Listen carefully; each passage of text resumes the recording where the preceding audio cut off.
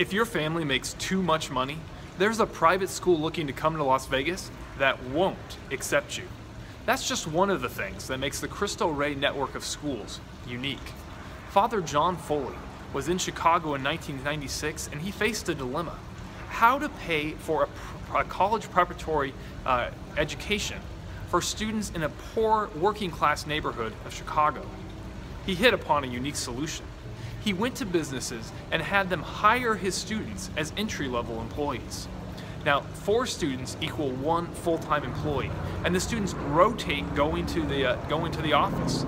To get ninth graders ready to go work in a professional environment, the schools hold a boot camp, and that teaches everything from common computer programs, uh, how to dress professionally, and even basic hygiene.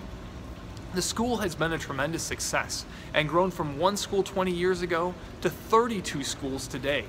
The average family income of those students is just $35,000, and 97% of Cristo Rey students are minorities. Now they're looking to bring that school right here to Nevada. And supporters are looking for a couple of things. First, they're looking for businesses that would be willing to hire their students as entry level employees.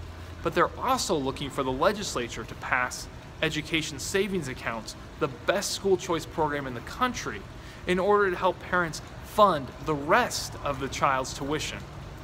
Cristo Rey schools are tremendous. I hope they come to Nevada, and I hope the Nevada legislature helps the school, the schools looking to serve low-income students by passing education savings accounts.